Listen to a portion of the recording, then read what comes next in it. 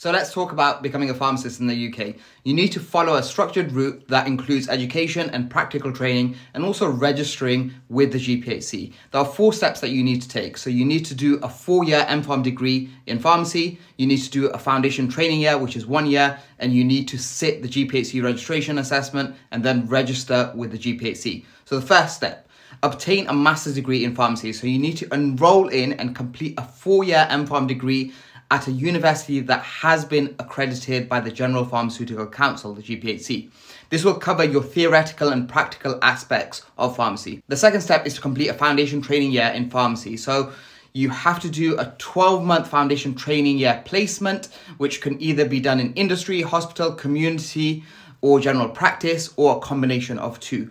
During this year, you're going to be under the supervision of a qualified pharmacist and you're going to gain practical experience in a real world setting. The third step is to pass the GPHC registration assessment. So after your foundation training year, you need to pass the GPHC registration exam, which will test your knowledge and skills to ensure you are competent to become a pharmacist in the UK. Once you are past the GPHC registration assessment, you can then apply to become a pharmacist in the UK. As part of your registration process, you need to provide evidence of your MPharm degree, your foundation training year, and also successfully complete the registration assessment.